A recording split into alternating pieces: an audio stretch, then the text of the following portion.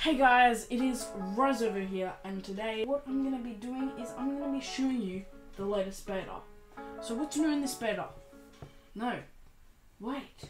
What? This isn't a beta. This is... I don't know how much it is actually at the moment. A certain amount of hidden features in iOS 10. I did a video on this um, for iOS 9, and it was pretty good. It was successful, and I enjoyed making it. And I enjoy pointing you out on some facts. Very first thing there is, which some of these are not as hidden as others. So the very first thing is photo search. So when you're in photos, you can search for stuff like dog. And when you search for dog, it will show images of dogs. Oh, or you can search for water. When I search for water, stuff like this comes up and it scans all your photos and finds things of water. This is from my Pokemon Go video. Very interesting. And next thing is in the clock app, it first of all has a dark theme. All throughout this app, which we thought they were hinting a new theme, but unfortunately it's just in the one app. Hopefully this comes out soon in iOS 10. But there's a new bedtime alarm so when you're in here, you set like which days of the week you want this to be, when you want it to remind you, like how many minutes before. Your wake up sound, which is heaps of new ones, like I don't even need to show you. Um, there's volume, which is cool bananas. Yeah, so the alarms are really cool, like that is so loud. And yeah, you choose like when to when and how many hours of sleep you get. It, you try and get it in between the bars, and it yeah, it analyzes your sleep and it's supposed to be more helpful. The next thing is in photos, you can now mark up photos. And actually, I saw this on some of the bigger YouTubers things, but I found it out the second the beta was released.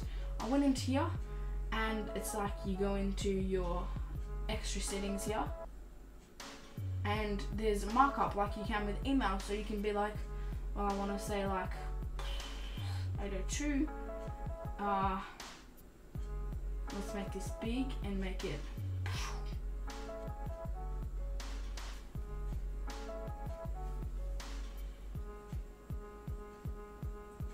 do it.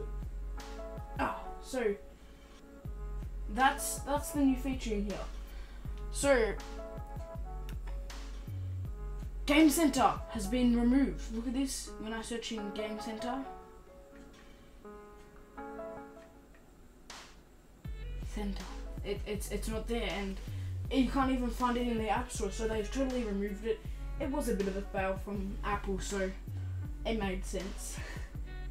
see, it now has weather. If you can see in this bottom corner here, it now shows the weather of temperatures and things. So it's very helpful now in maps, and I'm glad that it does this. And let's see if this will load up for us. So it will show like how good the air is, and it's like something helpful for all those Beijingers trying to go outside for a play. And you know it's not loading up for us, but you can see yourself now that it's come out. Now when you're entering a password, there's a caps lock indicator, and you know what, I'm not gonna unblur this for all you sneaky sneaky people out there can't have you knowing my passwords, but it has a caps lock indicator, which mm. is pretty good. Siri now knows what your battery percent is. How much battery have I got? Your iPod is at 89%. Wow! I didn't know that. Actually, I didn't. So that's how you know on something like an iPod where it doesn't actually show you your battery thing and it will tell you the exact percent you're at, which is so much better than everything else until a video came out telling everyone about it. But in, there's a new thing called color filters. You can see all these things. It's like, well, this red orange, turn on your color filters and you're like, grayscale, red green filter. So all of like the colorblind things. So I hope these actually help people like intensity, less intensity, it's it's it's pretty dope in my opinion, and I hope it's used well. When you're downloading something in Safari, there's a new look. I can't show you, I have no Wi-Fi. not really. So there's a dark mode in the UI, and you know what? They haven't added it in. It's it's coded in, and it's like when you have a contact. Let's say you have John, and they're an emergency. There's now a bypass for emergencies. See here? Emergency bypass allows sounds and vibrations from this person even when do not disturb is on. So it's for people that you will, that you need them if yeah. Sorry. Okay, the next feature is going to activate within 30 seconds from now. This feature is the new alarm mode and it's an option to stop the alarm which you'll see any second now. Hurry up alarm. There we go. See, it says stop down there. I'm gonna stop it because it is loud as heck.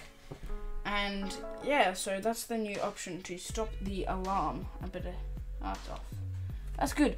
So when you're in messages and you are speaking to your friends, you do this and you get into the handwriting tool. And you can send really nice personalized messages to anyone that you know.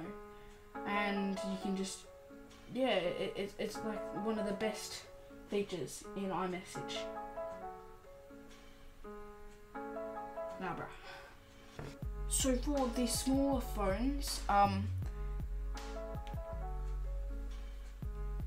for the smaller devices like this if I was to let's say I, I I'm in this thing and I'm typing on the keyboard, there's now a dismiss button, just like the iPad and the bigger ones, so I can get rid of the keyboard. In notification, there's a new alert style. So there's none, there's banners which and alerts. So you know the ones that took up your whole entire display? Yeah, they only appear at the top. So they won't go away, but you can continue what you're doing. They don't interrupt everything. The best thing yet. So in Wallet now, when you're changing your pass and you push the information, it doesn't flip over. It does this. Interesting. Now in Apple Music, when you're listening to a song, let's just say we put on cringy song I can find, downloaded music. So let's say you're playing a song. There's now a dislike button. So now when you're in a web page, let's just say I go into my Safari.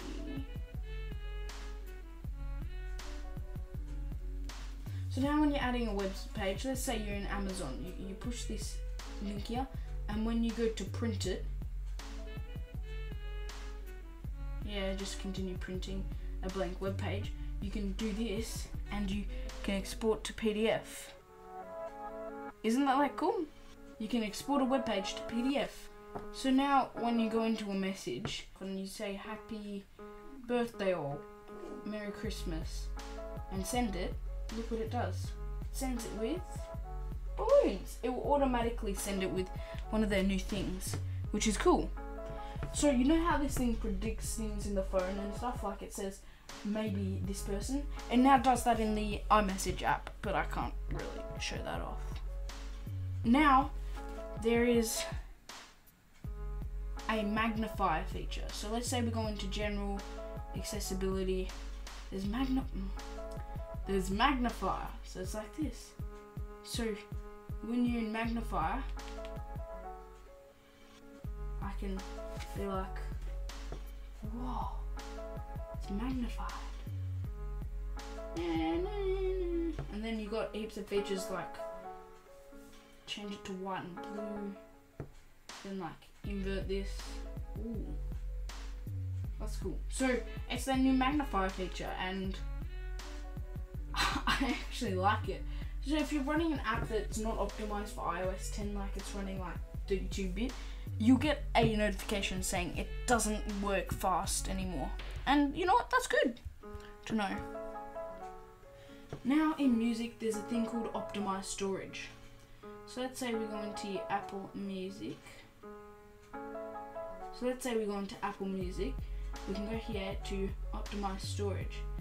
Um, and then like, yeah, it will remove songs that you haven't played in a while, depending on how much you want to have at least storage, which is good. In the App Store, they've added the categories back instead of Explore, so you can go through all the categories, which is much better than Explore because no one used it. in Mail, there's new filters. So let's say you're in here and you go into these, it's like filtered by unread. And you can filter it by all of these. So if I get an email saying, where are you? And I tap on here and I can put in my current location. Right there. Very clever predictive. When you send a link, it will um, come up as a preview. And if it's a video, which I can't really show you, it's loading on here. You can actually play the video from inside the iMessage app. It's pretty good and doesn't take too long. And I believe you can only play it on the iPad, but I might be wrong. If you've got an image in iMessage, you can you can mark it up here, so you can draw on uh, images in iMessage as well. When I show my own page, it comes up with a link of my icon-ish. I guess. That's cool. And when you get a message, there's a new interface. So with the new interface, you can just be like, yeah, boy, and then like send it back. It's really cool. Boil. There we go. So it's it's the cool new interface. In Notification Center, now let's say you're in an app and you hold it down this much to see the search and let go. You go into your app search, which you could only get into from doing that. Very, very good. Back to the contacts app, it actually has had a redesign. So let's say I add this as a contact. This is what it now looks like. So it has a much, like it hasn't been redesigned since iOS 7. In Safari and iOS 10, you can open as many tabs as you want, which is good. You can also delete system apps here. See, they're all deletable, but they're just hidden because you can download them without internet. If you are in a mailing list in the Mail app, you can push unsubscribe and it'll stop you from receiving emails from them again. So that was just a brief look on all the new features in iOS 10 that you now have. These are all hidden. I hope you enjoyed. This is like the longest video I've ever recorded. Ha! Well, I hope you enjoyed this. Please don't forget to like, comment, and subscribe. Hope I see you around later. This is Rizovo, and I'm signing out.